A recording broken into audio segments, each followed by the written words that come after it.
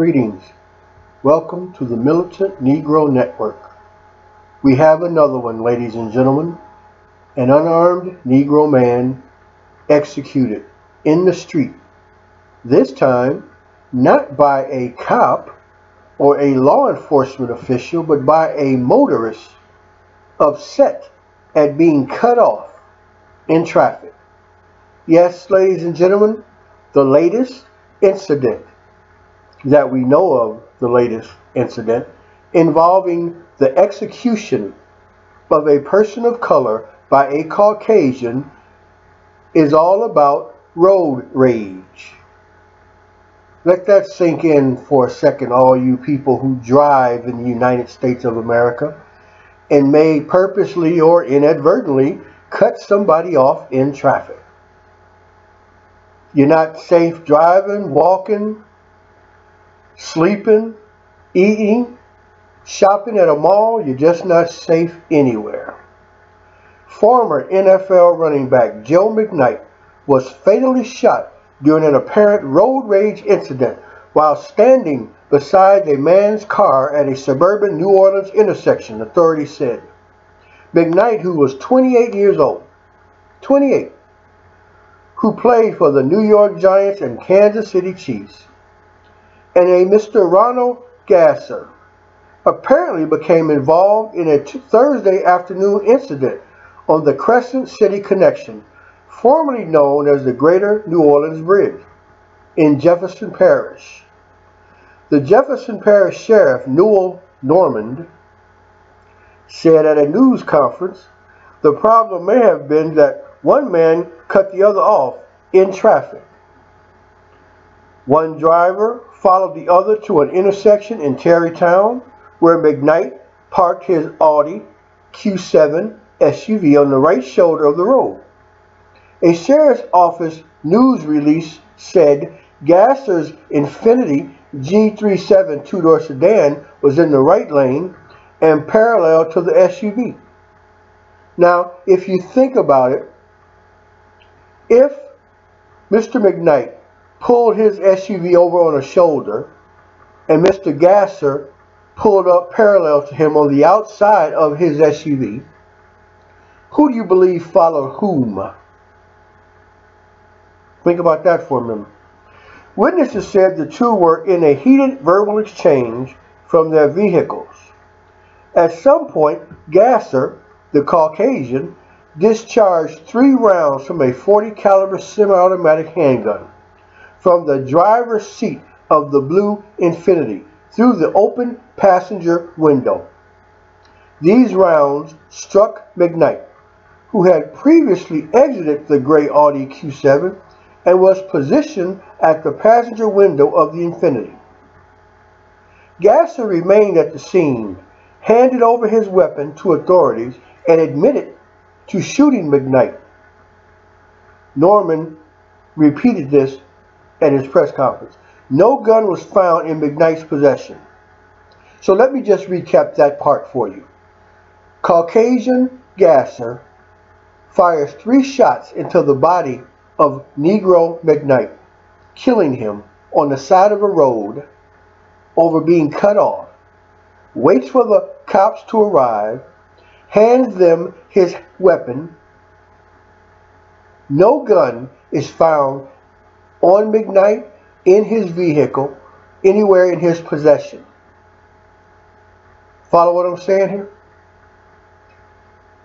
Normand said Gasser, 54, was released from custody Thursday night.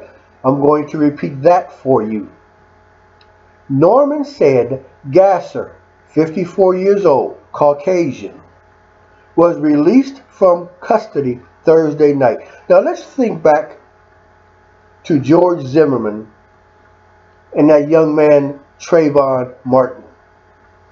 Trayvon Martin lay dead in the grass in his father's complex subdivision on his way home from buying Skittles and an Arizona iced tea.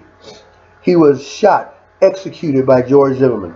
Zimmerman remained on the scene till the cops arrived. The cops let him go. released him, free as a bird.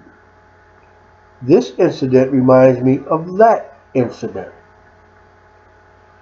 In explaining why Gasser was allowed to leave, Normand said authorities need to talk to more witnesses.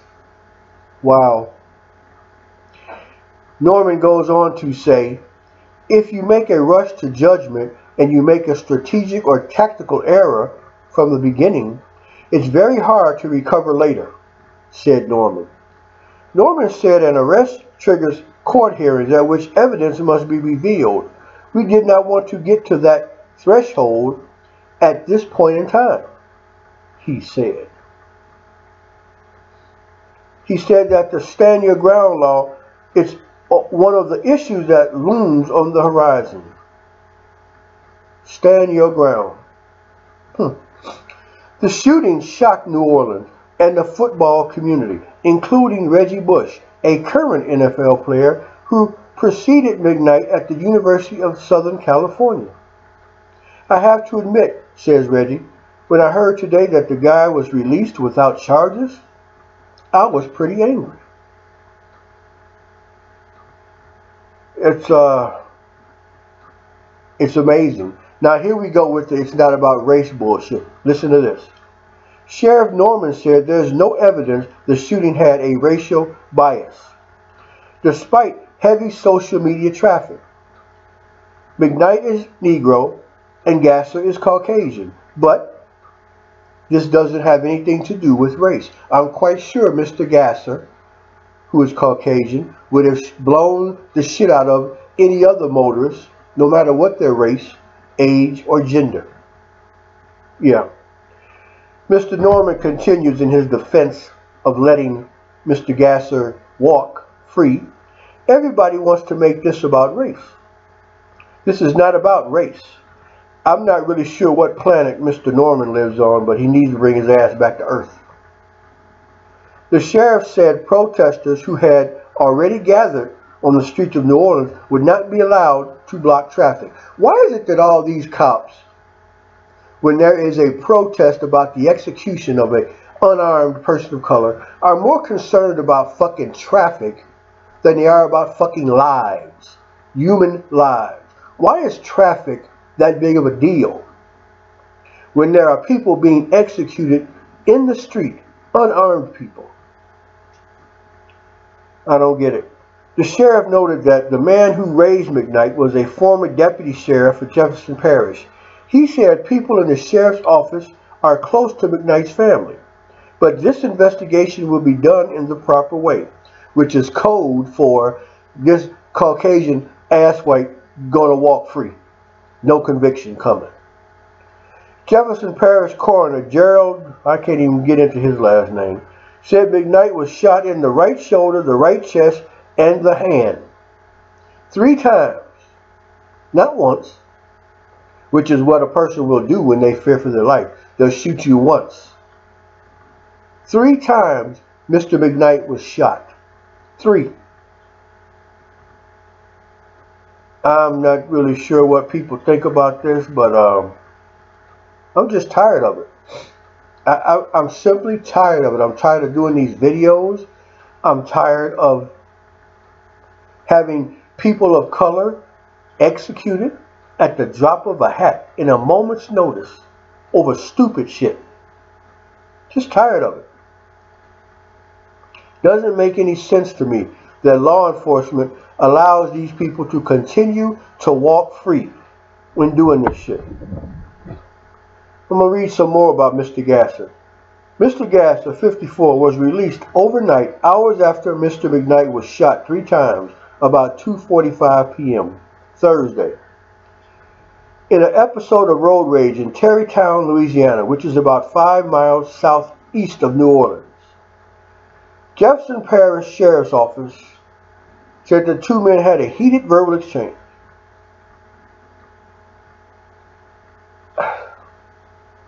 This guy, Normand, this sheriff, he's just a piece of work. Sheriff Normand appeared at times defiant and frustrated before reporters in Harvey, Louisiana on Friday. he said that the authorities would be very deliberate in the investigation. Witnesses are still being located and interviewed, and people planning to protest must do it within a designated area or they will be jailed. You're going to jail people for protesting your ass allowing a murderer to walk free. Think about the irony in that shit for a minute. This investigation is not going to be moved, influenced, coerced, or changed in any way by any external force, comments, or otherwise. I can't control what's on the social networks. And if we want to continue to be silly, that's fine. Asked if the case would be investigated as a hate crime, Sheriff Normand said that there was no evidence yet to suggest that should be. Everybody wants to make this about race. This isn't about race. Asked why Mr. Gasser was freed if he had admitted to the shooting, he said that in Louisiana there were some relative statutes that provide defense to certain crimes, and that the authorities would need to determine whether the shooting was justified. I'm going to just stop right there for a second and ask anybody out there, you believe this shit? I'm out of here.